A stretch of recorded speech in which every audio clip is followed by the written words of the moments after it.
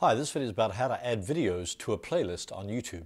Do you currently add videos to a playlist after you've uploaded them to your YouTube channel? Playlists are a great way to get viewers to watch more of your YouTube videos. When viewers watch more of your videos on your YouTube channel, it increases engagement. Increased engagement leads to higher rankings, and higher rankings generates more views and subscribers. Herman Drost, DrostDesigns.com. Here are the top three ways to add videos to a playlist on YouTube. Here's how to add videos to your playlist from the Video Manager. Click on your profile icon, Creator Studio, click Video Manager, drop down, click Playlists. Okay, I've got a playlist here, so I'm going to click Edit. Okay, I've got a playlist here. I'm going to remove this one. Five ways to hook viewers on YouTube. Click Remove. Okay, then I want to add a video, so I just click add videos.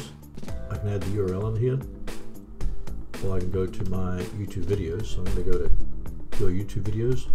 Search for that five ways to hook viewers on YouTube. Click on that one, and here it is, five ways to hook viewers on YouTube. And that's how you add videos to your playlists from the Video Manager. Here's how to add a newly uploaded video to an existing playlist. Go to your Video Manager, select the video that you wish to add to your playlist. I'm going to select this one, click Edit, Click Add to Playlist. Select the playlist that you wish to add it to. So I'm going to select the first one here and just click Save Changes. If you want to check your playlist, just go to Playlists, click Edit, and here I've got the uh, video I just added, how to download YouTube videos online without using software. Here's how to add a video to your playlist from the YouTube watch page. Here's a watch page of a video.